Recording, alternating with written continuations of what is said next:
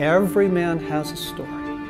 And in that story, what we're going to discover is the wounds that we have taken. You don't get through this war torn world without taking a number of serious wounds to the heart.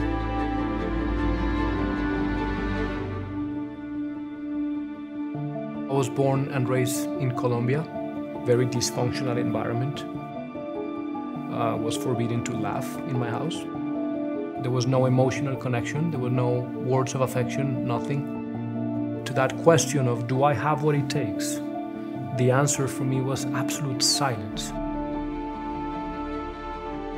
And then the wounds shape us into drivenness or hiding or fear or performing and achieving. Lift it up. God knows that we are wounded, that we are assaulted, that something has been lost and stolen and assaulted and surrendered. He knows that.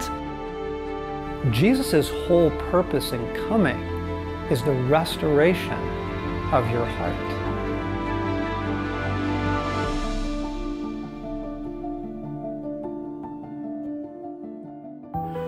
thought it'd be a good time to invite you to the next Wild at Heart retreat we're having. We're going to be doing that in St. Paul de Vence, beautiful area of the south of France.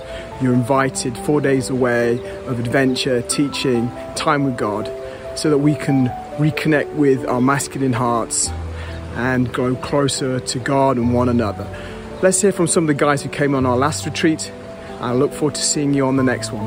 Really, one of the good takeaways is how to guard my heart as a father, as a man.